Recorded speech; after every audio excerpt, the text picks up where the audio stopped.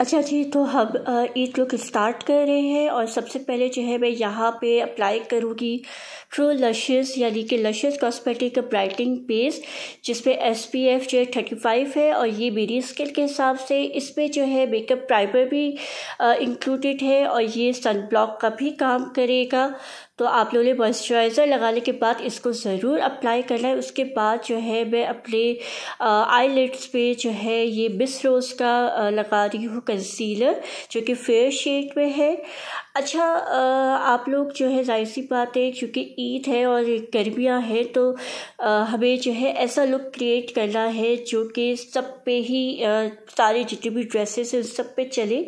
और चूँकि लाइट हमें मेकअप करना है नेचुरल हमें लुक देना है तो उसके लिए हम जो है यहाँ पे पीपी क्रीम भी आप लोग चाहे तो अप्लाई कर सकते हैं। मैंने अप्लाई नहीं किया हुआ। अच्छी तरह से जो है हम इसको, अपनी आईज़ को जो है वो कंसील करेंगे। उसके बाद जी मैंने यहाँ पे सेफोरा का लिया है। ये कंट्रोल किट है छोटी सी आप लोग चाहें तो कोई भी अपने पैलेट में से जो है ट्रांसलेशन जो है शेड निकाल सकते हैं।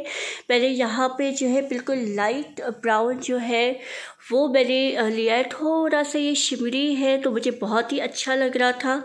तो ये मैंने यहाँ पे अप्लाई कर लिया है। उसके बाद जो है हम जो है अपने आईब्रोज़ को शेप देंगे यानी कि आईब्रोज़ अभी फिलअप करेंगे, अगर करना है तो करें।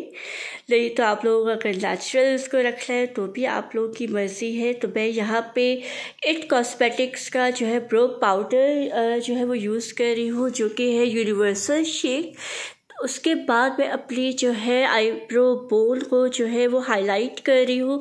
आपके पैलेट पे कोई भी सिल्वर शिवरी शेड होगा, आप वो भी अप्लाई कर सकते हैं। नहीं तो हाइलाइटर भी अप्लाई कर सकते हैं। कोई एक्स्ट्रा आप लोगों को करने की ज़रूरत नहीं है। जो भी आपके पैलेट पे अवेलेबल है, आप वही यूज़ करें।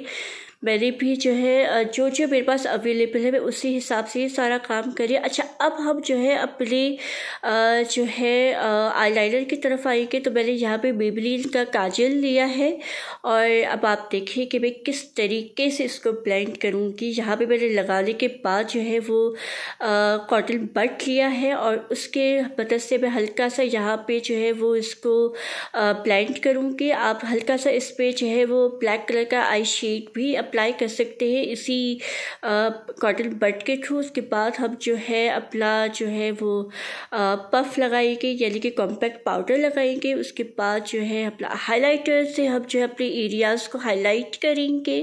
और जी, ये हमारा लुक कंप्लीट हो चुका है। लेकिन ऐसे कैसे? लिपस्टिक के लिए, यानी कि लिप ग्लॉस के लिए लिप मेट के लिए मैंने एनास्टेसिया का यहाँ पे जो है ये टेसिक कलर जो है वो अप्लाई किया है और ये मेरा ईट लुक जो है वो कंप्लीट हो चुका चुका है। आप लोग मुझे बताइए कि कैसा लगा, मुझे कमेंट सेक्शन में ज़रूर बताइएगा। अपना बहुत ज़्यादा ख्याल रखिएगा और मेरी तरफ़ से एडवांस ईद मुबारक। उम्मीद करती हूँ कि आप लोग की ईद अच्छी गुजरेगी और सिंपल से गुजरेगी, क्योंकि मैंने भी यहाँ पे सिंपल सब प्यारा सा नेचुरल सा लुक की क्रिएट किया है। तो आप लोग किस तरह का क्रिएट करेंगे मुझे कमेंट सेक्शन में ज़रूर बताइएगा। अपना बहुत सारा ख्याल रखिएगा। अल्लाह हाफिज़।